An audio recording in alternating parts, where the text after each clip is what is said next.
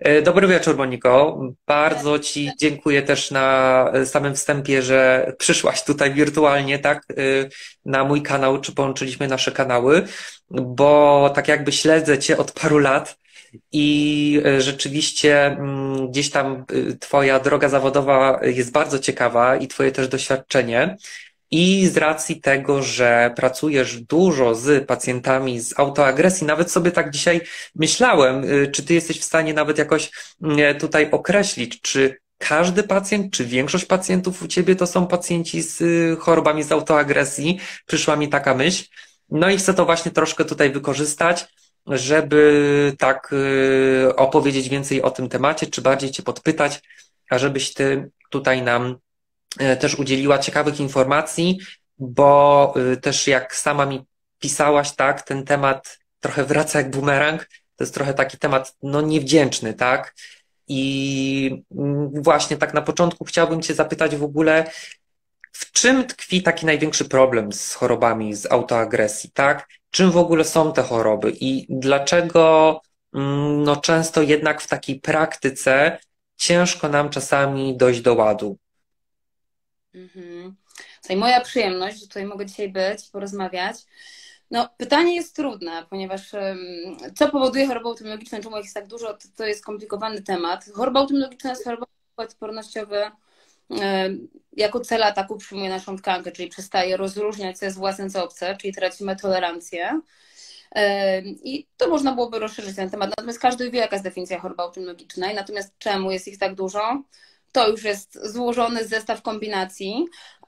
Na pewno u większości moich pacjentów faktycznie te choroby autoimmunologiczne występują. Natomiast czemu jest taka trudność? Dlatego, że każdy z tych pacjentów, nawet z tą samą chorobą autoimmunologiczną, ma różny zestaw e, indywidualnych e, i dysfunkcji immunologicznych i też wiesz, czynników, które wyzwalają te reakcje autoimmunologiczne i też inne mechanizmy doprowadziły w ogóle do utraty tolerancji autoimmunologicznej, immunologicznej.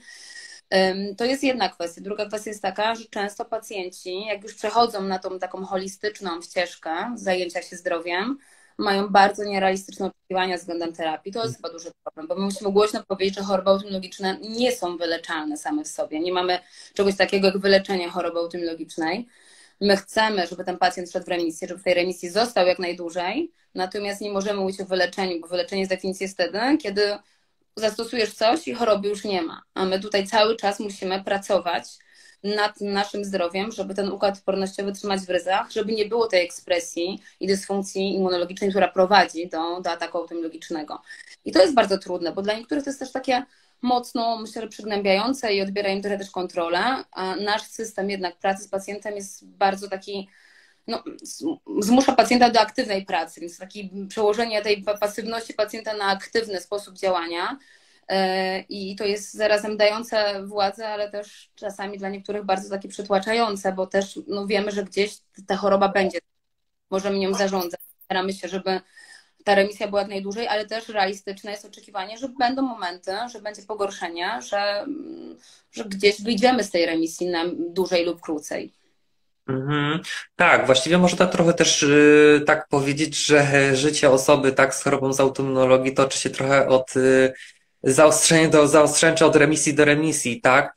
Natomiast rzeczywiście, no, problem jest duży, bo właściwie też tak oficjalnie to, o czym my mówimy, bardziej z punktu widzenia, no, takiej medycyny, którą mamy szeroko dostępną. Wydaje się, że to jest w ogóle jakiś wierzchołek góry lodowej.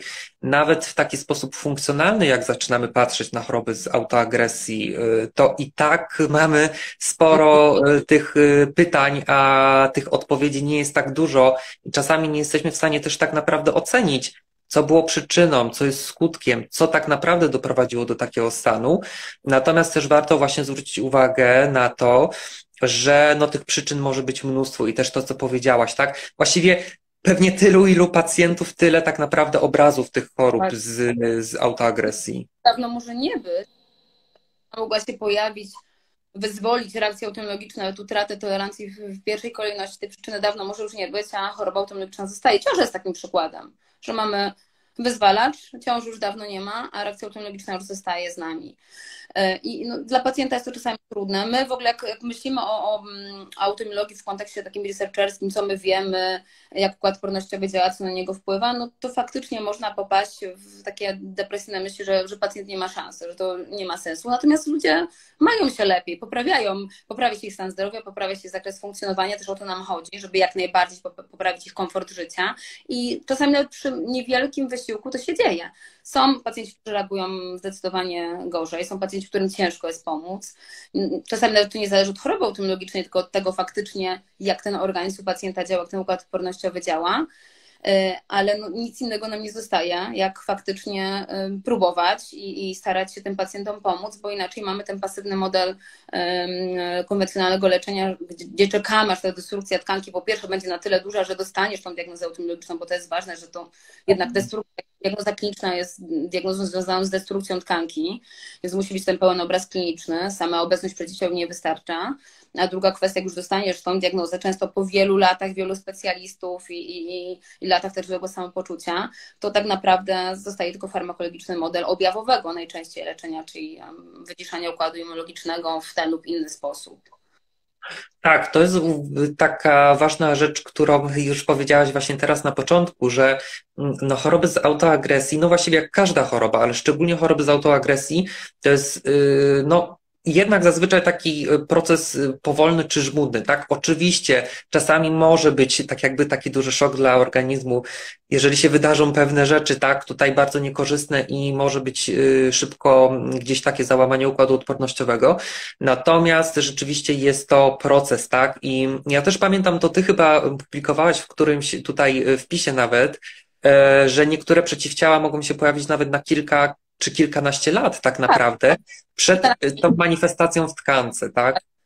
I w ogóle jest coś takiego, co istnieje w literaturze, nazywa się syndrom autoimmunologiczny, czyli sytuację, że jest już pewien poziom reakcji autoimmunologicznej, ale nie ma na tyle dużej destrukcji tkanki organu, żeby tą etykietę tutaj nadać. I ci pacjenci naprawdę latami czują się fatalnie. Mają pewne sygnały ostrzegawcze, czują się źle. Nie, jakby te, te interwencje, które stosują, czy dieta, czy suplementy, czy leki są w stanie pomóc na chwilę nie widzą też poprawy takiej dłuższej po różnych interwencjach. Czasami mają takie wyraźne objawy typu zmęczenie, powiększone węzły chłonne, e, bóle, różnego rodzaju bóle mięśni, bóle stawów. Stan podgorączkowy to też jest taki symptom, który gdzieś może wskazywać na dysfunkcję immunologiczną. E, często odwiedzają wielu specjalistów, często próbują różnych rzeczy, ale nic faktycznie nie dają im takiej długoterminowej poprawy. I to też jest sygnał, że jednak może warto byłoby tej reakcji autoimmunologicznej poszukać. Może jednak to jest gdzieś kwestia, jak ten układ immunologiczny działa, bo my gdzieś tam jakby w tym konwencjonalnym modelu chyba myślimy o układzie odpornościowym, że jest takim wyizolowanym tworem, że nic na niego więcej nie wpływa, on sam sobie działa. Natomiast no, jest to interdyscyplinarne i czasami nawet takie banalne testy, jak zrobienie przeciwciał ANA, y, czynnika reumatoidalnego, takich specyficznych przeciwciał typu przeciwciała antytarczycowe, już może nam dać jakiś obraz, że gdzieś tam ta autoimmunologia się pojawiła w naszym organizmie i może unikniemy full destrukcji tkanki i takiej sytuacji, że już po prostu będzie za późno, żeby jakiekolwiek interwencje prowadzić, mm, żeby, żeby poczuć się lepiej, bo czasami no, przy niektórych chorobach autoimmunologicznych jakby mm, stopień destrukcji ma znaczenie, jeżeli chodzi o, o ogóle progresję choroby i jakby rokowania choroby, nie? E, tak, i znowu poruszyłaś parę takich ważnych y, rzeczy, tak? Na pewno to y, świetnie, że to powiedziałaś o tym układzie odpornościowym, tak? Że to no właśnie nie jest jakiś osobny człon, tylko po prostu to jest część naszego ciała, część y, tak naszego organizmu. I właściwie można też powiedzieć, że te choroby z autoagresji tak naprawdę to nie są tylko zaburzenia, które dotyczą tego układu odpornościowego, ale tak naprawdę to jest moim zdaniem taka duża awaria i czerwona lampka całym naszym ciele, tak? Bo jednak tych objawów może być mnóstwo i mm, też dużo tych układów może być gdzieś tam później pociągniętych do odpowiedzialności. Czy też w drugą stronę, niektóre układy, które gdzieś tam nie domagają, które mają problemy, mogą właśnie negatywnie y, tak modyfikować ten układ odpornościowy, więc to jest rzeczywiście wszystko sprzężone. Natomiast yy, właśnie ta kwestia tutaj badań jest bardzo ciekawa i to też chciałbym y, Ciebie tutaj podpytać, bo też warto podkreślić tak, że choroby z autoagresji to nie jest tylko te kilka, kilkanaście chorób, o których my najczęściej słyszymy, tylko ich jest przynajmniej dziesiąt, tak? I czasami są to dość rzadkie choroby, które też niełatwo zdiagnozować. Natomiast co byś tutaj poradziła takiej przeciętnej osobie, tak? Co możemy badać? Co mhm. na to warto zwrócić uwagę? Czy przede wszystkim też się obserwować i w momencie, kiedy jednak długotrwale będą jakieś powtarzające się objawy, które tutaj wymieniłaś, wtedy pójść do specjalisty, tak? Czy jaki kierunek tutaj warto obierać?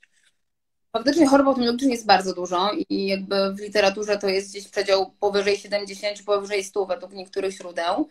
E, naszym zadaniem też jako specjalistów jest mniej więcej znajomość, jakie objawy mogą pojawić się w konsekwencji ataku na, na gdzieś tam główne tkanki, główne systemy w naszym organizmie, żeby też móc to zidentyfikować wcześniej u pacjenta. Natomiast co powinno nas zaniepokoić, jeżeli chodzi o, o takie serologiczne markery? Na pewno morfologia zaburzona. Podwyższone, obniżone białe krwinki, neutropenia, składowe dopełniacze obniżone. Nie jest to badanie, które się często robi, ale ale też jest, świadczy o tym, jak ten układ immunologiczny, ta, ta wrodzona odporność działa przeciwciała ANA, czyli gromatoidalne, i przeciwciała takie typowo swoiste. Często jednak przeciewowo sprawdzamy niektóre na celiakię, na, na, na Hashimoto. Więc to jeżeli chodzi o badania, jeżeli chodzi o objawy, to co wymieniłam, czyli takie niespecyficzne objawy, porozrzucane po całym organizmie i jakby nie ustępujące po różnych interwencjach i też to, że tych objawów przybywa z czasem, i też takie sinusoidy, czyli momenty, że czujemy się gorzej, bez konkretnej przyczyny, bez konkretnego powodu i potem czujemy się nagle lepiej. Trzy dni tak, dwa miesiące tak, raz siak. I to też jest taki symptom, że może jednak tam być reakcja autoimmunologiczna w organizmie. Mamy też takie zjawisko poliautoimmunologiczne w tej sytuacji, że jednak tych chorób autoimmunologicznych możemy mieć więcej i chyba to jest coraz, częściej, coraz częściej widzimy pacjentów, którzy mają zdiagnozowaną chorobę optymologiczną i patrzymy, jedna, druga, trzecia się gdzieś tam pojawia, to często nawet młodzi ludzie, e, więc też jak mamy już pacjenta optymologicznego, to podstawowe pytanie brzmi, gdzie jest reszta tej autoagresji niestety. Tak, dokładnie. Dokładnie tak. Mi tu przede wszystkim na myśl przychodzi celiakia, tak, jako taki przykład, że właściwie chyba przy y, każdej takiej poszlace, gdzie jednak trafiamy na jakąś chorobę z autoagresji i nie jest to celiakia, to nie wiem, jak y, ty uważasz i jakie ty masz zdanie, jak to widzisz w praktyce, ale moim zdaniem właściwie każda osoba z chorobą z autoagresji powinna też przejść diagnostykę w kierunku y, celiaki, tak, bo jednak wiemy, że tutaj y, możemy na nią natrafić, czy szczególnie przy pewnych chorobach ona może być problematyczna, czy właśnie czasami się okazuje tak, że gdzieś tam odkrywamy to Hashimoto, insulinoporność typu 1, a okazuje się, że w tle jednak ta celiakia jest, tak? Czy w ogóle sam temat glutenu, który tutaj jest no dość taki, bym powiedział, kontrowersyjny cały czas, tak? Tak.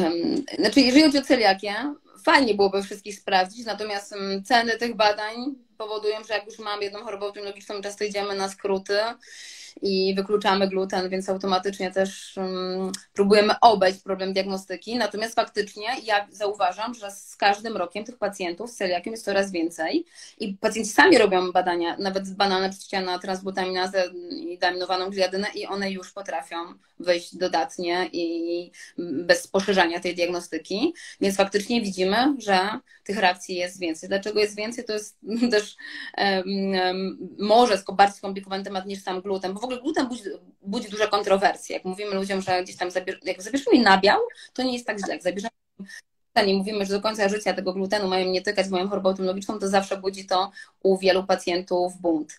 Natomiast tym glutenem historia jest prosta jest skomplikowana, w sensie faktycznie są to bardzo reaktywne proteiny, natomiast też no, mamy ten problem pod tytułem pestycydy, herbicydy, glifosat i zmiana struktury protein, hybrydyzacja, dominacja, czyli to, co my zrobiliśmy z tą pszenicą i czemu ta pszenica dzisiaj nie jest tą samą pszenicą, którą nasza babcia jadła i która nie ma tej reakcji, to też jest ważne. Bo jak są wykresy wzrostu celiaki, użycia glifosatu, to faktycznie to idzie łeb w łeb i, i ogromne są te przeróżnice na przełomie ostatnich dekad. Więc też trzeba pamiętać, że to, dlaczego proteiny są reaktywne, bo generalnie układ immunologiczny reaguje tylko na proteiny, tu mówimy o proteinach dietetycznych, więc to, dlaczego one są reaktywne, też zależy od tego, jak nasz organizm działa, jak je trawimy i, i potem jak układ immunologiczny nie reaguje, to może zaraz mi powiemy więcej. Natomiast też, jeżeli będą miały obcą molekułę przyłączoną do no to wiadomo, że to tworzy neoantygen, czyli nową strukturę, na którą organizm będzie reagował, bo jej nie zna. I też myślę, że to czas uświadomić, że naprawdę y, w ogóle ja widzę u pacjentów, którzy badają sobie poziom glifosatu w moczu, bo te badanie w pewnym momencie było, stało się popularne, nawet tak poza mną, bo ja go nie zlecam. I ja z ręką na sercu może pamiętam jedną osobę, która miała wynik w normie, reszta wszystko idzie na, w górę. Też prawdopodobnie dlatego, że nawet jak się nie używa go do, do, jako um, jakiś, jakoś pestycyd czy, czy herbicyd, to przede wszystkim um, jest to też osuszacz między plonami i też przez to gdzieś tam, nawet jak nam się wydaje, że to jest um, uprawa bez, to pomiędzy gdzieś ten glifosat może być używany, możemy nawet o tym nie wiedzieć. Więc to mi się wydaje duży problem, że my zmieniamy bardzo strukturę jedzenia molekularną i też przez to to jedzenie jest bardziej reaktywne. W ogóle jak myślimy o takich taki najprostszym schemacie, co reakcja autoimmunologiczna może wyzwalać. Nie o utracie tolerancji, bo to jest trochę temat. Jak mamy utratę tolerancji, to ją mamy.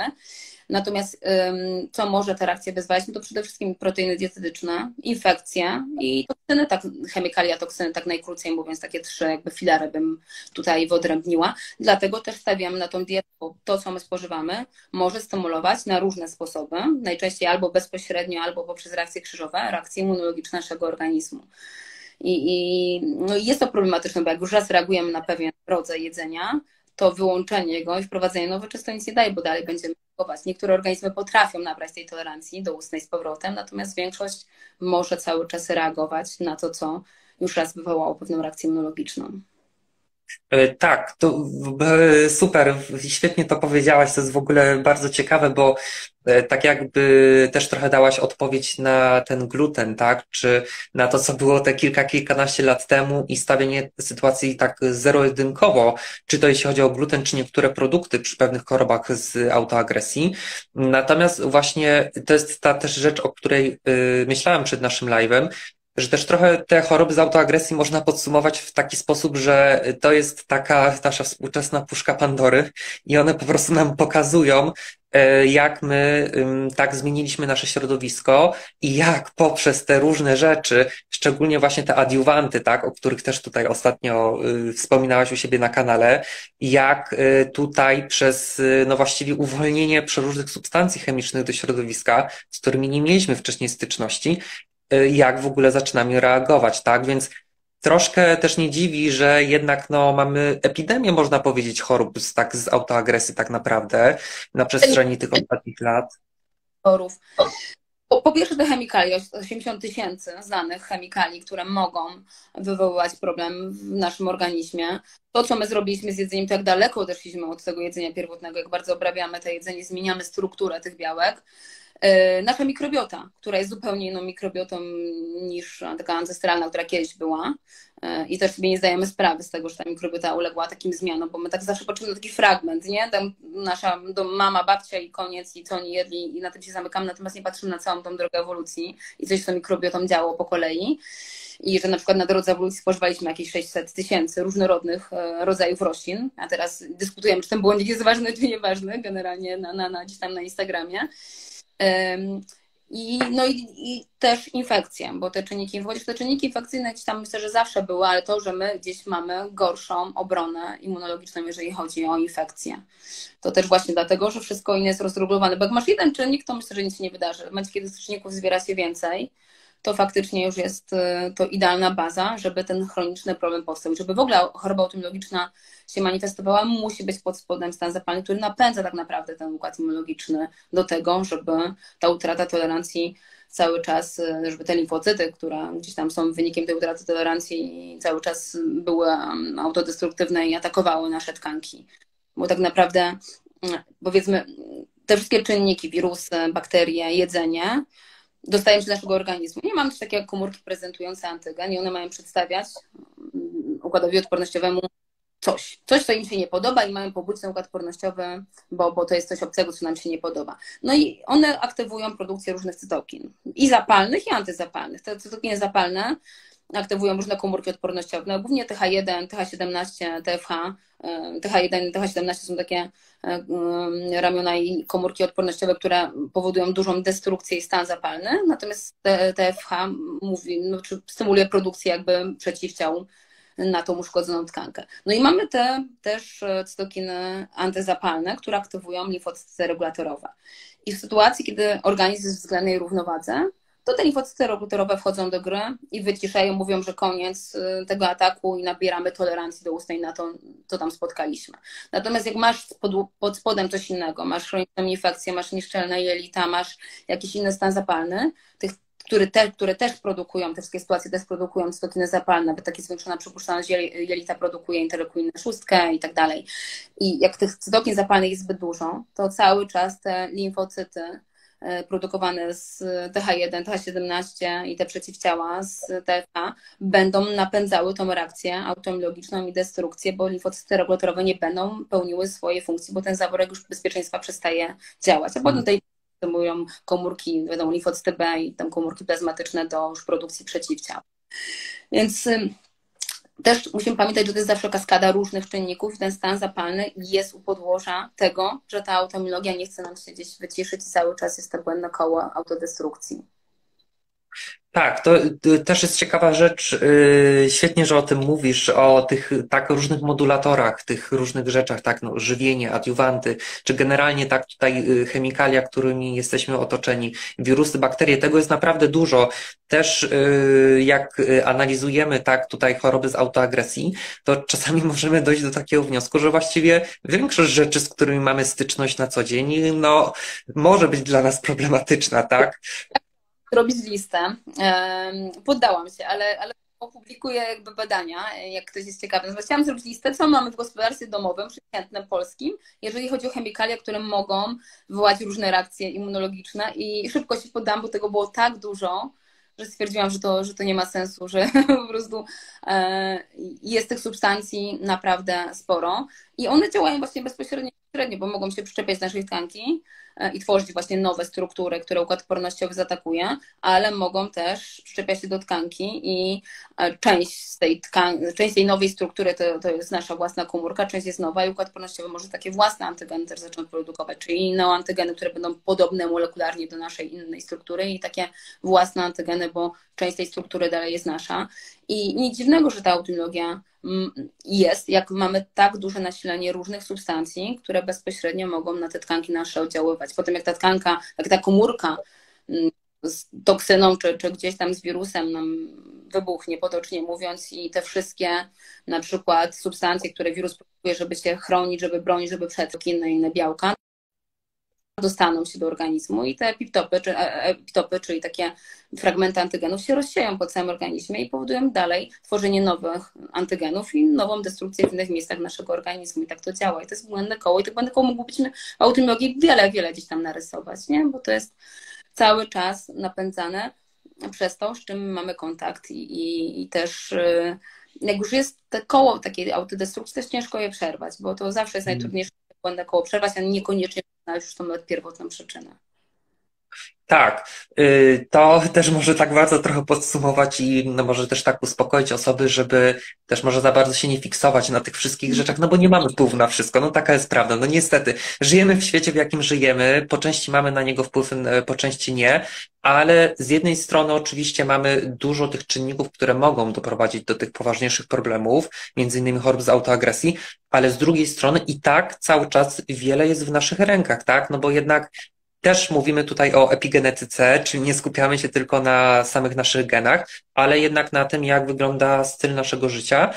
I tutaj jednak, czy jako taka profilaktyka przed chorobami z autoagresji, czy już właśnie wejście w remisję, no i jednak tutaj możemy y, dużo zrobić.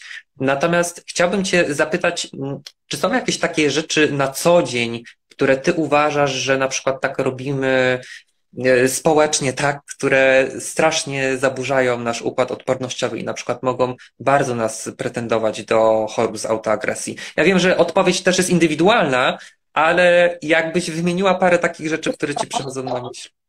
Pierwsze, co mi przyszło do głowy, i to nie będzie y, żadna toksyna, nie wiesz, wszystko, nic na siebie kładziemy, czujemy, tylko bym powiedziała, że jednak ten nasz styl życia, w sensie relacje, stres, E, praca, brak snu przede wszystkim. Chyba nic tak bardzo nie rozregulowuje układu immunologicznego, jak nawet jedna nieprzespana noc, więc powiedziałabym, że te rzeczy. I jak tak patrzę nieraz u pacjentów, niby wszystko jest ok, badania się poprawiają, i, i, dieta jest, wszystko wprowadzamy, ale na przykład potem drążymy, czemu to samopoczucie jest idealne, to zawsze dziś okazuje, że jednak ten przewlekły stresor może być typu relacja, praca i tak dalej, więc chyba powiedziała, że to, gdzieś w, w tą stronę bym bardziej poszła niż cała ta reszta, na którą mamy mniejszy lub większy wpływ, bo wiadomo, że to jest już e, e, indywidualne i też no, na, wszystko, na wszystkiego wpływu nie mamy, ale bym powiedziała, że jednak zdecydowanie te, tempo naszego życia, to jak my funkcjonujemy dzisiaj, to jak ten układ nerwowy cały czas jest stymulowany byle jakich powodów te stresory, wiesz, nie są takie ewolucyjne jak kiedyś, że, że coś cię goniło i że czy przeżyjesz, czy nie, tylko bo ktoś coś na Instagramie napisał na tej zasadzie, e, albo ktoś w pracy coś powiedział, więc powiedziałam zdecydowanie, że tego typu czynniki tutaj mm, bym mm, jak, wymieniła jako takie, na, no, nad którymi warto popracować, bo pacjenci w większości jak już przejdą na tą holistyczną stronę, to łatwo im idzie dieta, suplementacja. Nie wszystkim oczywiście, bo to nie są, nie są łatwe zadania, natomiast jak już się wezmą, to nieraz są w stanie dietę stosować, suplementy połykają, natomiast no, takimi rzeczami, które już tutaj są trudniejsze do naprawy, bo to jest trudniejsze, już czasami to spychałem na dalszy plan i uważałem, że dziś tam nie ma tematu. Tak, to świetna odpowiedź w ogóle, dzięki, bo też fajnie to powiedziałaś, no ale to właśnie wychodzi też pewnie Twoje doświadczenie, tak? I widząc już ileś historii, ileś chorób i mając ilość rozmów, czy nawet sami pacjenci później sami przyznają, tak? Czy nam się zwierzają, że kiedy przepracowali jakąś sytuację albo zauważyli właśnie tak, że też problem jednak tkwi gdzieś bardziej w psychice, w emocjach, w relacjach, to też zaczęło się tutaj zmieniać to zdrowie, czy ta autoagresja y, zaczęła się wyciszać. Natomiast to jest bardzo ważne, bo w ogóle mm, nie tak łatwo to zauważyć, tak? Nie tak łatwo to zauważyć, y, niełatwo też z tym pracować, ale super, że o tym powiedziałaś, bo też uważam, że to jest jeden z takich tematów, który może tak na pierwszy rzut oka wydawać nam się niezbyt ważny, czy coś, co tak jakby pomijamy na co dzień, natomiast uważam, że to właśnie nas bardzo drenuje tak na takim głębokim poziomie. No i to też jest właśnie jeden z tych czynników, gdzie no niestety ten układ tak e, immunologiczny no jest nas wystawiony tak na, na szwank. Czy właśnie to, co powiedziałaś, że endorfiny są bardzo fajnym modulatorem układu immunologicznego i tego nam dzisiaj brakuje, takiego nieintencjonalnego, gdzieś takiej nieintencjonalnej radości czy poczucia szczęścia i, i też ostatnie chyba czasy, to zawsze ostatnie dwa lata nam pokazały, jak te nasze układy nerwowe są podatne, jak bardzo już ten stres zaczyna być nieadaptacyjny dla większości ludzi, bo to naprawdę widać przez te ostatnie dwa lata, co się zrobiło z naszym zdrowiem, no potem potocznie mówiąc psychicznym, natomiast to też są reakcje fizyczne pod spodem, które zachodzą w układzie nerwowym, w samym organizmie tak naprawdę. Więc myślę, że na tym bym się skupiła. No a to, co możemy zrobić na co dzień, to oczywiście no, unikanie toksyn to jest, to jest ważna rzecz, bo jest ich coraz więcej. Jak nie zwracamy uwagi, to to łatwo mogą gdzieś się pojawić, zwłaszcza w gospodarstwie domowym. I wiadomo, że nie unikniemy wszystkiego. Możemy gdzieś tam zmienić chemię gospodarczą, możemy zmienić kosmetyki, unikać chemii w jedzeniu, natomiast no zawsze gdzieś będzie w materiałach powiedzmy budowlanych, czy, czy, czy w powietrzu, czy w wodzie nawet, ale to, co możemy zminimalizować, to zawsze jest na plus. Więc myślę, że ta świadomość jest ważna. Też nawet w naszym polskim rynku widać, że trochę jakby producenci idą w tą stronę, bo to się stało na przykład z rynkiem takim kosmetycznym, ile mamy kosmetyków naturalnych, to też jakby pokazuje trend i to jest fajne. Y, druga kwestia, no dieta, niestety dieta i jakby tą dietę możemy sobie podzielić na różne mm, jakby poziomy y, restrykcyjności, tak bym to nazwała, bo możemy wykluczyć podstawowe, takie prozapalne grupy, główne grupy produktów typu gluten, nabiał, gdzieś soja y, i, i na tym pozostać, zobaczyć, co się wydarzy. Możemy iść trochę dalej, czyli wykluczyć pewne inne proteiny dietetyczne, które mogą wystymulować typu psikowate, lektyny, inne zboża, które się krzyżują też z glutenem, które są molekularnie do glutenu podobne. No i możemy iść jeszcze krok dalej zrobić sobie dietę bardziej restrykcyjną, na przykład takie indywidualne proteiny dietetyczne, które wiemy, że w danej jednostce chorobowej mogą być problematyczne, typu wiemy, że w aromatydalnym zapaleniu stawów te są problematyczne, no bo tworzą aglutynacji białek, a jak kogoś mamy z czynnikiem reumatoidalnym, to jest taka perełka kliniczna, no to jest nic innego jak aglutynacja przeciwciał, czyli GM i G, naszych dwóch głównych przeciwciał, więc ta osoba prawdopodobnie też będzie reagowała na lektyny dietetyczne e, i, i, i tak dalej. No w razie redukcja jodu może mieć znaczenie. E, ogólnie przy autoimmunologii redukcja soli jest ważna, chlorku sodu, żeby gdzieś nie stymulować TH17, tego ramienia układu odpornościowego, który mówi jak mocno atakować. E, więc dieta to jest kolejny czynnik i tu możemy właśnie sobie zrobić te, te kilka poziomów, bo e, taka, taki full protokół autonomiczny, który kilka lat był bardzo modny, kilka, kilkanaście lat temu, który ja bardzo lubię zresztą, ale jest trudny. i się świetnie sprawdzał. To od razu podkreślam, że dla mnie to, to, to jednak ja widzę różnicę, jeżeli chodzi o, o odpowiedź pacjenta. Natomiast bardzo trudny i coraz rzadziej go używamy, bo, bo jest to duża doza dyskomfortu, duża doza takiej neurotyczności, decyzyjności, która jeszcze tam w głowie siedzi i dla, dla wielu pacjentów to jest zbyt dużo jakby, um, jeżeli chodzi właśnie o te przetwarzanie informacji i tego stresu, że nie wolno.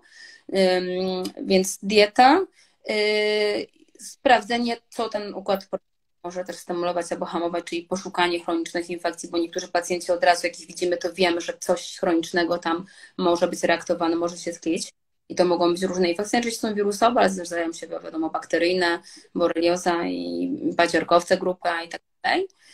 E, I, e, I to, no i styl życia, czyli mamy te kwestie diety, relacji w stylu życia i tak dalej, toksyn, i chronicznych infekcji, których gdzieś tam u pacjentów szukamy, zwłaszcza jak nie widzimy takiej poprawy klinicznej, albo jak są takie symptomy, typu mamy objawy i gdzieś tam niskopoziomowej infekcji lub widzimy w badaniach, że coś jest nie tak z układem immunologicznym. Tak, y, warto odnośnie tych infekcji tutaj też powiedzieć y, parę słów, bo to też jest taki temat ciężki do uchwycenia w ogóle, tak? Bo często jest tak, że mamy infekcję i jednak też jest wymagany pewien czas, zanim też pojawi się tak choroba z, z autoagresji. Czasami pewnych faktów w ogóle nie kojarzymy, że na przykład rok temu, dwa, trzy lata temu, tak? E, coś się działo bardziej poważnego i że to mógł być też, e, no może nie zaczątek, ale w ogóle taki silny czynnik tutaj wyzwalający chorobę z autoagresji. Natomiast też to e, chciałbym powtórzyć to, co mówiłaś na początku, tak, że już po samej morfologii, po tych podstawowych badaniach, szczególnie po tym rozkładzie białokrwinkowym, my już możemy wyłapać pewną tendencję, tak, czy to bardziej do przewlekłych infekcji wirusowych czy bakteryjnych. Oczywiście zawsze konfrontujemy to z objawami, tak? Nie skupiamy się tylko na tych samych wynikach, ale no pewnie sama y, tak to widzisz i czasami jest tak, że już patrząc na samą y, morfologię, czy poszczególnie gdzieś wyniki badań, czy często lipidogram, tak, y, widzimy, że tutaj możemy mieć do czynienia w ogóle z, albo ze stanem zapalnym, to jedno, albo już chorobą, z chorobą z autoagresji. Czasami ten pacjent nawet jeszcze się nie odezwie, a my już typujemy tak, y, jaka to choroba może być. Także generalnie warto też poradzić, żeby wykonywać regularnie podstawowe badania, bo po nich też można bardzo dużo wyczytać, czy tak jakby one też mogą być mm, taką podstawą do tej dalszej diagnostyki. Y, natomiast no jednak chyba bez dwóch zdań i teraz jest to standardem.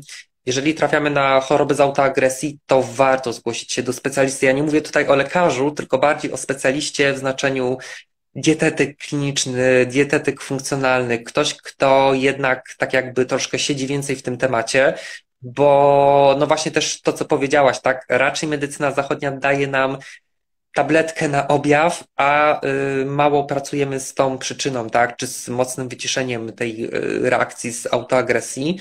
I warto tutaj jednak yy, tak no, zasięgnąć jakieś porady, szczególnie na początku. Też jeśli chodzi o tą dietę, to jest właśnie bardzo ciekawe, co powiedziałaś, tak, odnośnie tego protokołu. Yy, mnie się też wydaje, że to jest trochę wynik tego, że mamy też więcej możliwości teraz, tak? Mamy mnóstwo przeróżnych ziół, suplementów, naprawdę tego jest tak dużo, że troszkę nam łatwiej też tak jakby nadgonić pewne rzeczy z diety, tak, y, gdzieś y, innymi elementami, tak mi się wydaje w terapii e, i może dzięki temu też jest tutaj łatwiej. Natomiast rzeczywiście to też jest y, ważne w kontekście tych chorób z autoagresji, bo generalnie ja też mam taki obraz, że to jest bardzo ciężka sytuacja dla pacjenta, bo z jednej strony wydarzyły się pewne rzeczy w jego życiu, które doprowadziły do takiego, a nie innego stanu, tak? Zazwyczaj to są rzeczy, które mocno go dotknęły i on już na starcie z tą chorobą jest zmęczony. I nagle dostaje też y, worek y, zaleceń, tak, jakichś restrykcji, gdzie y, już tak jakby on jest na początku zdołowany i jeszcze tutaj dodajemy dużo zaleceń, więc tak jakby też chciałbym podkreślić to, żeby mm, albo korzystać tak tutaj z, z porad specjalistów, ale też przede wszystkim dobierać to tak jakby pod własne potrzeby, czy szczególnie możliwości, tak, w, w danym momencie, bo to też jest proces, tak. Mm, też nie jesteśmy w stanie wszystkiego zrobić. Właśnie może takie pytanie, czy ty w ogóle y, widzisz jakąś taką średnią mniej więcej dla chorób z autoagresji, y, ile potrzeba czasu, aby wejść w remisję? Czy to jest tak bardzo duży rozstrzał, czy jednak widzisz, że pół roku, rok u większości pacjentów takiej dość restrykcyjnej terapii i, i można wejść w remisję w większości chorób? Nie odpowiem też, jak mówiłeś, pacjent, który jest zmęczony i dostaje ten wór zaleceń, to jeszcze potem, wiesz, idzie do lekarza i słyszy, że w ogóle nie ma korelacji między układem odpornościowym a dietą, więc e, tak, tak, tak, tak to realnie wygląda. Jeżeli chodzi o ten czas, to ja się trochę um, posłużę badaniami, bo gdzieś ten protokół epidemiologiczny był już badany i to niejednokrotnie i przyjmuje się, że to około 9-12 miesięcy statystycznie widzimy tą poprawę kliniczną, czy ją nazwiemy remisję, czy nie, bo to jest w ogóle ciężki temat, jeżeli chodzi o definicję pewnych rzeczy, gdzie ta remisja jest. Czy to jest kwestia poprawy samopoczucia, czy remisję oznaczamy jako e, cofnięcie się pewnych zmian, gdzie wiadomo, że niektóre są nie do cofnięcia, nieodwracalne, czy jednak jest to spadek przeciwciał i tak dalej. Więc pytanie, co my nazywamy tak naprawdę remisją? To tak, to, to, tak, to, Generalnie ja bym nazwała to poprawą po prostu jakości życia, funkcjonowania, eliminacją pewnych dolegliwości i, i, i przynajmniej jakby wyciszeniem tych dolegliwości, które nam uniemożliwiały normalne funkcjonowanie.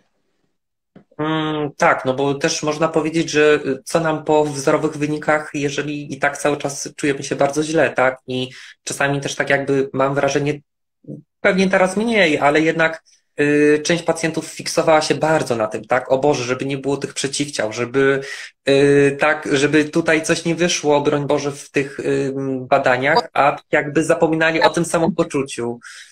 Głośno powiedzieć, że przeciwciała nic nie robią. E, one tylko oznaczają, co ma być atakowane, no tylko albo aż, ale to, czy zaatakujemy, zależy od tego, jak ten układ immunologiczny działa. I to jest bardzo ważne. Więc są pacjenci, którzy bazowo będą mieli zawsze wysoki poziom przeciwciał, możemy ich nigdy nie obniżyć. I też nie o to chodzi. E, oni jak będą mieli zaostrzenie, atak autonomiczny przeciwciała z tej nawet wysokiej bazy pójdą jeszcze wyżej, potem wrócą do tej bazy, natomiast niektórzy będą bazowo mieli wyższy poziom przeciwciał to nie oznacza, że nie, będą, nie oznacza, że nie będą mieli remisji, więc to też trzeba głośno powiedzieć, o co chodzi tak naprawdę w przeciwciałach, bo niektórzy faktycznie mają takie ideologiczne podejście, że one zniknęły całkowicie. E, I hmm. właśnie to jest też problem dla nas i dla pacjenta, bo mm, no, my musimy też pacjentowi zawsze E, I, I czasem starcza na to czasu, bo my jesteśmy skupieni tak na tej części klinicznej, co się dzieje, co trzeba zrobić, że mm, nie ma tej edukacji e, podstawowej, że my musimy mieć realistyczne oczekiwania jako pacjent i też dla nas, jako dla prowadzących, jest to żeby pacjent zrozumiał, że tak naprawdę jest to proces i może tak wyglądać i to nie będzie taka równia pochyła w górę, nie? I, I, czasami z tej remisji wyjdą, czasami mogą w nią łatwo nie wejść albo nigdy nie wejść, bo są też organizmy albo choroby autonomiczne, które słabo nam reagują na to, co robimy. Dla przykładu podam miastenie. No nie mamy tak. super doświadczeń z miasteniem, co byśmy nie robili. Możemy trochę poprawić komfort tego życia, natomiast to nie są takie spektakularne efekty jak przy na przykład chorobie to gdzie byle co zrobimy i ten pacjent czuje się jednak lepiej. Fakt, że jeszcze tu dochodzi aspekt tego, że my zastępujemy przy Hashimoto, przy cukrzycy po pierwszego, przy niektórych chorobach autonomicznych funkcję tego organu, który został uszkodzony, bo mamy hormony, możemy je podać w przypadku niedoczynności tarczycy, a w wielu sytuacjach no, co zostało uszkodzone, zostało uszkodzone. I w przypadku, gdy mamy atak na, na nerki, na stawy, na, na mózg, no, są to sytuacje, gdzie faktycznie będziemy mogli odczuwać większą lub mniejszą mniejsze, większe objawy spowodowane tym, że ten organ został już uszkodzony i ta destrukcja była na tyle duża, że już daje nam objawy kliniczne. Hmm. Tak. A propos. Mhm. Ja to przepraszam, że ci wejdę słowo, bo Mamy trzy etapy choroby autonomicznej, to jest bardzo ważne. Pierwszy to jest tak zwana cicha autoagresja, czyli są przeciwciała, ale jeszcze nie ma żadnej destrukcji tkanki, jeszcze nie widać zmian w funkcjonowaniu tej tkanki. Na przykładzie na przykład Hashimoto, no to nie będzie żadnych zmian w TSH, w FT3, FT4, będą przeciwciała, ale na USG będzie ładnie i hormony będą ładne, TSH będzie ładne. Potem mamy reaktywną autoagresję, czyli mamy dalej przeciwciała, są już zmiany, czyli TSH może nam skakać, FT3, FT4 też, ale na obrazie USG dalej będzie czyściutko, nie będzie stanu zapalnego. No i trzeci etap, gdzie najczęściej wykrywamy wszystkie choroby autoimmunologiczne, to jest etap choroby autoimmunologicznej i poznajemy to po tym, że na diagnostyce obrazowej, USG, RTG, cokolwiek, widać już destrukcję na tyle dużą, że tą etykietę dostajemy. A my byśmy chcieli wykrywać te choroby autoimmunologiczne w pierwszej fazie, kiedy jest to cicha autoagresja, kiedy możemy jeszcze dużo zrobić, żeby uchronić tą tkankę przed taką destrukcją jakbyśmy nic nie robili. Tak, ale też mi się chyba wydaje, że jeśli chodzi o wykrycie na tym pierwszym etapie, to często to jest właściwie przypadek albo, albo szczęście, tak? Zrobiliśmy badanie. Tak, To chyba jedyna choroba, którą faktycznie wykrywa się przypadkiem często, jeszcze przed jakąś full destrukcją. Jeżeli chodzi o inne, wiesz, co zanikowe zapalenie żołądka też, dlatego że ono jest mało progresywne, więc jak wykrywamy, to przeważnie tam stan zapalny jest minimalny i te przeciwciała są, a resztę no przypadkowo, czynniki reumatoidalne może, no faktycznie już zupełnie przypadkowo. Może zespół antyfosfolipidowy, jak mamy tą diagnostykę takiej niepłodności immunologicznej, no ale to faktycznie zdecydowanie rzadziej niż częściej i, i faktycznie przypadkowo. Jak już trafimy w takie ręce, że ktoś nas kompleksowo ogarnie i po prostu sprawdzamy różne rzeczy, to myślę, że wtedy. Tak, chciałam Cię też dopytać właśnie z Twojej praktyki, mm, jakie są Twoje obserwacje, jeśli chodzi o choroby z autoagresji, bo oprócz tego, że widzimy tak jakby, że coraz więcej po prostu jest pacjentów, tak, to niestety też widzimy, że te choroby, które kiedyś były uznawane za rzadkie, niestety są coraz częstsze. Y, ja na przykład zauważam tutaj, jeśli chodzi o wątrobę i autoimmunologię wątroby, tak, i dróg żółciowych, to, y, to, to jest taka rzecz, y, przynajmniej u mnie gdzieś tam w gabinecie, tak, gdzie tego było bardzo mało, a teraz właściwie dużo pacjentów się pojawia. Natomiast co ty zauważasz? Jakie tutaj szczególnie teraz są kierunki, tak, jeśli chodzi o te choroby z autoagresji, szczególnie o te rzadkie? Po pierwsze, w ogóle poliautoimmunologię widzimy, czyli pacjenta, który ma więcej niż jedną chorobę autoimmunologiczną.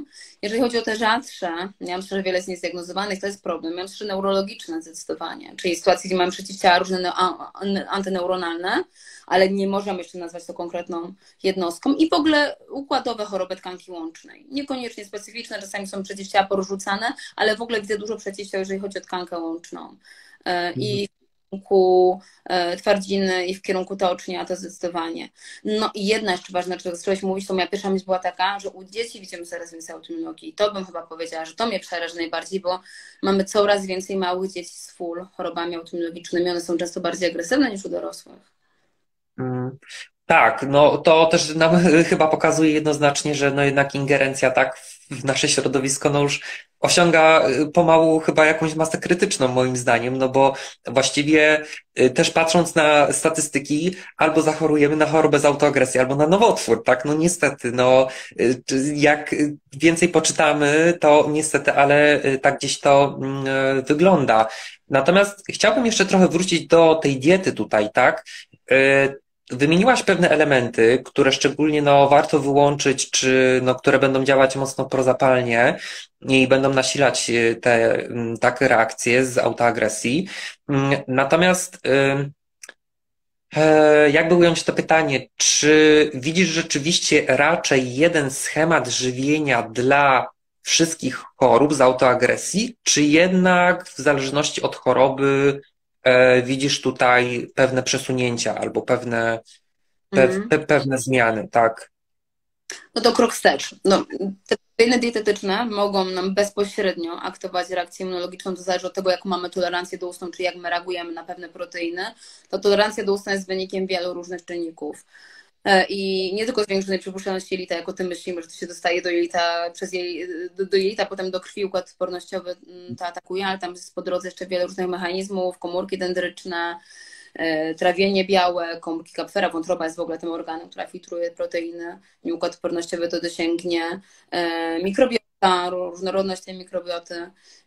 I generalnie to, na co my reagujemy indywidualnie, nie mamy pojęcia, bo nie robimy takich badań. Możemy sprawdzić nadwrażliwości, ale to nie jest ten poziom, dlatego że mają dużo miejsca do błędu w kontekście, jak my te białka badamy, nie sprawdzamy, czy na przykład to jest surowe, czy, czy gotowana antygen, ta antygeniczność się zmienia w, w, w oparciu o to, jak te proteiny są poddawane obróbce termicznej. E, nie badamy reakcji krzyżowych z tkankami, z innymi proteinami, co tam jeszcze, e, kombinacji protein, czyli może być tak, że nie reagujesz na parówkę, nie reagujesz na bułkę, a na hot doga razem już reagujesz i tak dalej. Więc to jest indywidualne i nie jesteśmy w stanie tego sprawdzić. Dlatego dla zasady wykluczam najczęściej te najbardziej prozapalne grupy produktów typu właśnie zboża, nabiał, soję, ewentualnie jajka.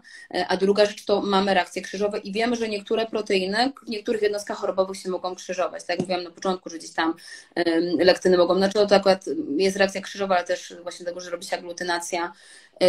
Lektyny mogą w przypadku reumatoidalnych rzeczy być problematyczne.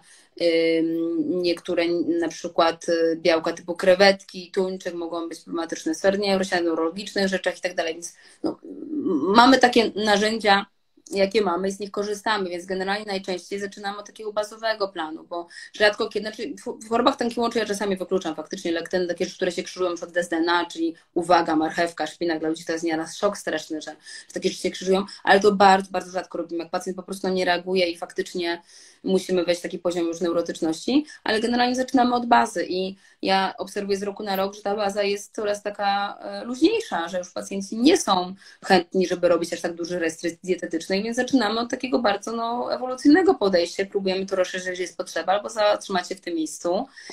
E, nie robimy już często takich rewolucji jak kiedyś, że wywalamy wszystko i full protokół optymologiczny, bez psiankowatych, bez orzechów, pestek, jajek i tak dalej, bo nie ma, nie ma chęci ze strony pacjenta, zresztą się nie dziwię, bo są to trudne diety.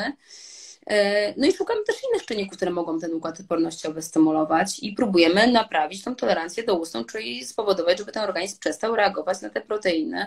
Więc poprawiamy trawienie, poprawiamy tą aktywność limfocytów regulatorowych, komórek dendrycznych, patrzymy na różne rzeczy, które tutaj sprzyjają nadwrażliwościom pokarmowym, hormony, stres i tak dalej. Mhm mechanizmem, bo generalnie, tak jak mówiliśmy na początku, no, układ immunologiczny jest interdyscyplinarny. Czasami wystarczy brak naszych głównych hormonów, tak zwanych reprodukcyjnych, estrogenu, progesteronu, testosteronu i już ta e, reaktywność immunologiczna będzie większa, już nie będzie odporności odpowiedniej śluzówkowej, już będzie inne zachowanie limfocytów regulatorowych, więc e, patrzymy po prostu na cały obraz, czy jakie czynniki u danego pacjenta mogą tą reakcję i, i, mogą wpływać na ten układ odpornościowy, może tak. Ja zawsze sobie dzielę gdzieś tam w głowie na systemy, czyli takie kwestie metaboliczne, neurologiczne, endokrynologiczne, infekcyjne i, i próbuję z tych czynników gdzieś tam zrobić taki, taką, takiego matrixa, nie? Mhm. To troszkę tak jakby nawiążę do tego, co mówiłaś przed chwilą i pociągnę ten temat y, diety bardziej w suplementacji i też w zioła, bo wiem, że też bardzo lubisz y, tak między innymi pracować na różnych y, preparatach ziołowych czy suplementach, tak, które mają tą komponentę ziołową. I czy Masz takie rzeczy, które używasz na co dzień, ulubione, które w większości reakcji tak z autoagresji się tutaj sprawdzą, czy jednak to jest rzecz bardzo indywidualna? Wiesz co, nie, moglibyśmy wymienić e, takie rzeczy, które są uniwersalne, logicznych. Po pierwsze bym chyba wymieniła to, co, mm, uwaga, od końca chyba tak idę, to, co poprawia nam trawienie, żeby jednak e, jak najlepiej strawić proteiny, bo jak będziemy mieli pojedyncze aminokwasy, organizm nie zareaguje. On tylko reaguje na sekwencję aminokwasów na peptydy, czyli niestrawione proteiny. Więc enzymy trawienne, kwas solny, to zdecydowanie. No i to, co nam wycisza układ immunologiczny, reguluje. E, omega-3, kurkuma, resveratrol, to, co też wpływa na, na aktywność limfocytów regulatorowych. Jest tu troszkę myk, bo przy niektórych kwestiach infekcyjnych dając omega i takie rzeczy, które wyciszają niektóre na układy prosiwego może pacjentowi zrobić krzywdę, ale o tym się jakoś głośno nie mówić. Pacjenci też tego aż tak klinicznie nie odczuwają, jak gdzieś tam w literaturze widzimy te przykłady. Może krótkołańcuchowe kwasy tłuszczowe u niektórych pacjentów też się sprawdzają, jest dużo polemiki, czy tak, czy nie, ale ja klinicznie widzę efekty. Probiotykoterapię, witamina D, witamina A, takie typowe immunomodulatory, chyba najfajniejsza, czyli witamina A, witamina D e, inne kwasy tłuszczowe mm, nie, poza e, zwierzęcymi, poza rybnymi, czyli e, e, omega-3, 6, 9 z roślinnych źródeł, to też mm, wpływa nam tutaj na immunomodulację. To takich uniwersalnych rzeczy powiedziałabym chyba, że to. Może gdzieś już jak idziemy krok dalej, to bajkalina, berberyna, takie które nam TH1 trochę podnoszą, komórki naturalnych zabójców. Tarczyca bajkalska, właśnie bajkalina, to mówiłam co tam jeszcze, kwercytyna, która trochę TH2 zbijają. Więc to tak, ale to jak widzimy jakieś dysfunkcje, bo ja bym powiedziała, że też w większości pacjentów zaczynamy od bazy yy, mhm. i ktoś naprawdę sobie nieźle radzi. To jest też coś, co jakby początkuje ten efekt kuli śnieżnej. Ale są pacjenci, nad którymi się, gdzie znajdujemy każdym miesiącem, czy, czy nawet innym etapem kolejne różne procesy i faktycznie robić taki skomplikowany model i, no i z nimi pracujemy dłużej i trudniej i też no, mamy właśnie inne oczekiwania odnośnie terapii, bo nie jest tak, że na wszystko mamy wpływ. Mamy narzędzia, jakie mamy e, i one też mają swoje ograniczenia, organizm też ma swoje ograniczenia. To nie jest tak, że ja chcę, ja wezmę więcej tych suplementów i, i tak dalej, bo no, organizm też ma swoje ograniczenia i nie wszystko, nie wszystko mamy wpływ, nie wszystko jesteśmy w stanie cofnąć i zmienić. Tak, y, ja bym właśnie trochę też nawiązał do tego, co powiedziałaś odnośnie, y, świetnie, że powiedziałaś o tych enzymach, o trawieniu, tak? No bo rzeczywiście można też powiedzieć, że w większości y, chorób z autoagresji, no jednak ten nawet jeżeli ta autoagresja nie jest w układzie pokarmowym, to jednak widzimy, że właśnie szwankuje ten układ pokarmowy, tak? Szczególnie y, też nie jelita, o których tak dużo się mówi, tak? I SIBO chyba, które już zostało odmienione przez wszystkie możliwe przypadki na przestrzeni ostatnich lat, y, czy IBS, y, tak, przedtem, ale właśnie żołądek, pęcherzyk żółciowy. Też często to, o czym ty wspominasz tutaj, tak?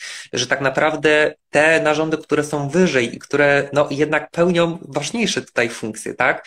E, to jest ta kwestia, która jest bardzo ważna w kontekście trawienia. No i też tak jakby w, w kontekście ochrony przed y, tą autoagresją później, czy też ochrony tak naprawdę przed y, różnymi czynnikami takimi infekcyjnymi, tak? Bo też y, widzimy, że coraz więcej osób ma po prostu problem między innymi z żołądkiem, tak?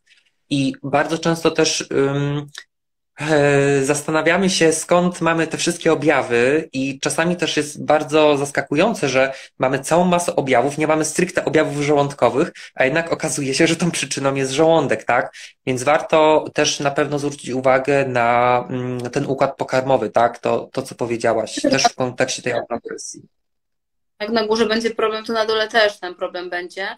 I mimo, że często to się zaczyna na górze, to faktycznie naukowcy najbardziej e, odnoszą się do tego, co jest na dole, czy do mikrobioty jelitowej i ta mikrobiota w kontekście układu immunologicznego jest zbadana bardzo dobrze i w kontekście nawet szczepów bakteryjnych, które mogą nam tu pomóc w immunomodulacji, e, jak jeszcze wpływają na, na, na obniżenie aktywności H17, które mm, regulują nam limfocyty regulatorowe i tak dalej, więc e, gdzieś tam ta mikrobiota jest bardzo dobrze zbadana i my też o nim mówimy i stąd się to wzięło. Natomiast fakt faktem, że no, ta mikrobiota też jest konsekwencją tego wszystkiego, co się dzieje wyżej i o tym nie możemy zapomnieć. Hmm, tak. Nie wiem, co jeszcze na koniec. Y, pytań za bardzo nie było. Tutaj ktoś wspominał w komentarzu, było pytanie o te, mm, no tutaj o mononukleozę, tak, i o EBV, no to właściwie o tym y, tutaj powiedzieliśmy, tak, no, że właściwie te czynniki tutaj, y, tak, wirusowe, bakteryjne, no, prawda też jest taka, że my do końca nie wiemy, jaka będzie ta odpowiedź, tak? Właściwie chyba to, co moglibyśmy poradzić, to generalnie dbać o swoją odporność, tak? Czyli też w momencie, kiedy trafimy na y, ten wirus, tą bakterię, żebyśmy po prostu mieli jak najlepszą tutaj y, odpowiedź. Natomiast wydaje mi się, że też nie jesteśmy w stanie do końca przewidzieć, tak, jaka będzie y, reakcja, bo też tak jak powiedziałaś, to jest w ogóle składowa, tak, czyli też parę czynników tutaj po drodze. Natomiast nie wiem, czy jeszcze byś coś, właśnie, może na sam koniec powiedziała o tych infekcjach wirusowych, tak, w kontekście autoagresji.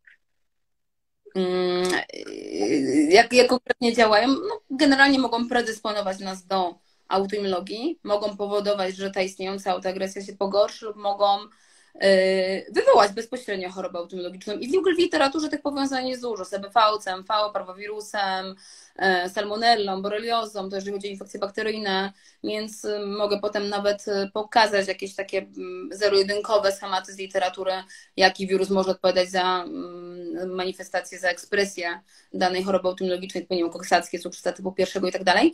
Natomiast no, no, mechanizm jest taki sam, czyli wirus dostaje się do naszego organizmu, odpowiedź immunologiczna jest przesadna i albo na zasadzie molekularnej mimikry, czyli układ odpornościowy w ogóle tych mechanizmów jest trochę więcej, to jeszcze, dobra, to, to, to, to, to jeszcze to omówmy. Czyli mamy kilka mechanizmów, poprzez które infekcje mogą, głównie wirusy, aktywować układ odpornościowy. Najbardziej znana jest molekularna mimikra, czyli sytuacja, gdzie patogen jest, moleku, no, jest podobny, czy funkcjonalnie, czy immunologicznie, czy strukturalnie do naszej tkanki i układ odpornościowy atakując dany patogen, wirusa, bakterię, też atakuje naszą tkankę, bo jest dla niego na tyle podobna, że się myli. I najczęściej naukowcy to badają, jeżeli chodzi o te właśnie powiązania, takie proste powiązania z chorobami typu mm, pylori z twardnikiem roślanym i tak dalej, czy tam EBV z wieloma różnymi chorobami autoimmunologicznymi. E, mamy też taką bierną aktywację, czyli jak ten stan zapalny z danej tkance, rozsiewa się na te zdrowe tkanki, układ prościowy zaczyna te zdrowe tkanki atakować, bo już nie przypominają molekularnie budową tego, co było. I ta bierna aktywacja jest taką przypadkową po prostu aktywacją tych limfocytów e, autoreaktywnych. I przy okazji, jak już te tkanki są przejęte, to jak właśnie te epiptopy się dostaną z tkanek, czyli te fragmenty antygenów, które sobie dany patogen stworzył, żeby się bronić, to rozsiewają się po całym organizmie i mamy mm, tą ten przepływ epitop, epitopów, które mogą dalej w różnych miejscach wywołać reakcje autoimmunologiczne. No i generalnie same wirusy rozregułują układ odpornościowy. Już taki EBV potrafi się chować przed układem odpornościowym, zmienia sposób działania czy komórek prezentujących antygeny, więc już nie działa ten system immunologiczny od samego początku, czyli cokolwiek się dostaje do naszego organizmu, już nie ma tej prezentacji, jak powinna być. Zmienia sposób działania limfocytów mm, i to które też odpowiadają za produkcję przeciwciał. Yy, I, i, I co jeszcze powiedzieć yy, o tych wirusach? No i generalnie jak się, bo też większość tych infekcji wirusowych to nie są takie infekcje, jak ludzie myślą. Czasami jak mówimy, że podejrzewamy, że to jest reaktywacja wirusowa, to ludzie myślą, że to jest górne drogi oddechowe. Od razu mówią, że ja nie miałam kataru, ani kaszlu, ani nic. Ja mówię, że to najczęściej są międzykomórkowe rzeczy, czyli takie, które są w śpieniu w różnych tkankach, najczęściej też w układzie nerwowym i się reaktywują. Najprostszym przykładem reaktywującej się infekcji jest opryszka, bo opryszkę każdy widzi jak ma. Natomiast jest wiele różnych reaktywujących się wirusów, których nie widać.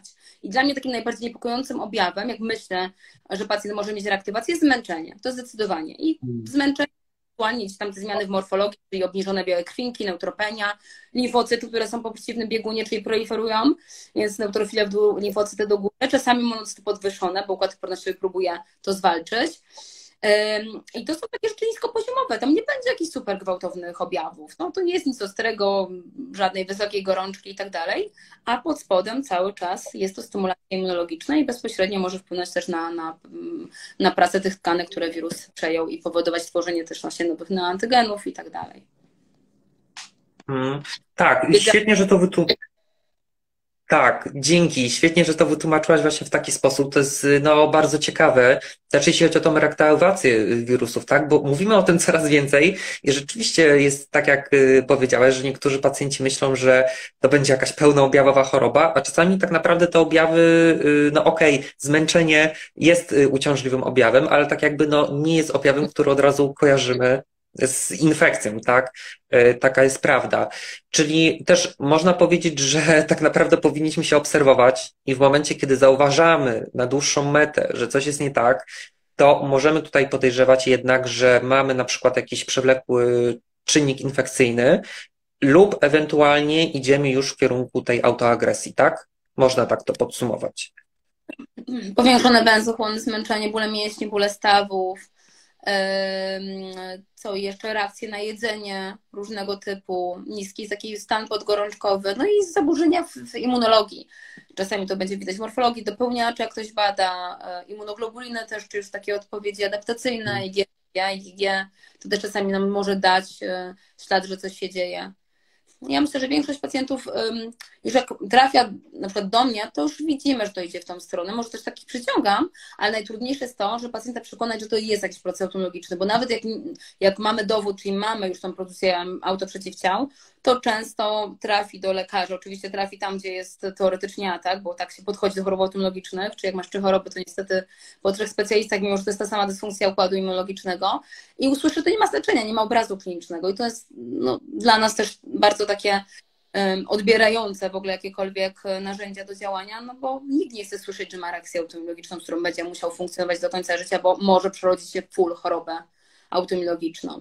Więc też bym mm, chciała jakby przekonać pacjentów, że jednak e, te przeciwciała mają znaczenie, że to, że one tam są i zawsze jak nie wiem, robimy badanie za jakiś czas dalej są, za jakiś czas dalej są, że one tam po coś są, że układ odpornościowy tych przeciwciał więcej niż niż powinien. I pytanie teraz, czy zaatakuje, czy nie. I my chcemy zrobić wszystko, żeby nie zaatakował, bo sam obecność przeciwciał jeszcze ok, ale jak już będzie atak, no to będzie miał objawy. I może naprawdę minąć do 15-20 lat od pojawienia się przeciwciał do full destrukcji albo do takiej destrukcji na, na takim poziomie, że będzie już to widoczne i nie będzie wątpliwości, że to jest choroba autonomiczna i dostaniemy tą etykietę.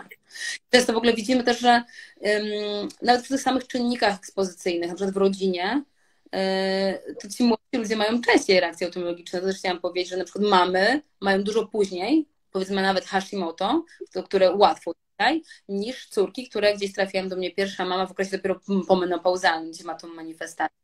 To też pokazuje, że jednak one są bardziej progresywne i że może te diagnozy stajemy wcześniej, ale wciąż y, no, nie mamy modelu profilaktycznego chorób autoimmunologicznych, dlatego też y, to wygląda jak wygląda i dlatego też słyszymy, że to wszystko, co robimy, nie ma sensu, no bo lekarz ma inne zupełnie narzędzia. On może działać tylko wtedy, kiedy jest destrukcja, żeby tej destrukcji uniknąć, zapobiec, natomiast nic nie robi z tą bazą pod spodem, czyli z tym, że ten układ odpornościowy nie działa poprawnie. Hmm. No i to jest bardzo dobre. Tak, to jest bardzo dobre podsumowanie właściwie tej naszej rozmowy. E, bardzo Ci dziękuję, Moniko, tak, że, że byłaś, że porozmawialiśmy na ten temat, bo wydaje mi się, że to jest no, temat bardzo ważny, tak. No, niestety choroby z autoagresji dotyczą ogrom naszego społeczeństwa i pewnie wiele osób, które nas tutaj słucha, tak, y, się z tym zmaga i pewnie są też takie osoby, którym jest po prostu ciężko, albo właśnie osoby, które mają dużo takiej dezinformacji, tak, bo słyszą od lekarza jedno, od terapeuty drugie, od dietetyka trzecie, a jeszcze gdzieś coś wyczytają w internecie innego. Także mam nadzieję, że dzisiejsza ta rozmowa troszeczkę tak jakby przybliżyła ten temat chorób z autoagresji, czy podsunęła pewne pomysły, tak, gdzie ewentualnie szukać, na jakie objawy zwrócić uwagę.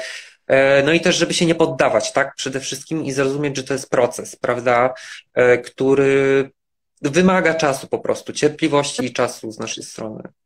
Naprawdę małe zmiany dają nam efekt i to też pozwala im odzyskać kontrolę nad tym zdrowiem. Jest to model tego pacjenta aktywnego, no ale co innego nam zostało. Każdy z nas też jest pacjentem, też wiemy z tej strony, jak to jest, prawda? Dokładnie, dokładnie tak. Dzięki Monika, życzę Ci miłego wieczoru i jesteśmy w kontakcie. Do usłyszenia. Dziękuję, pa, pa.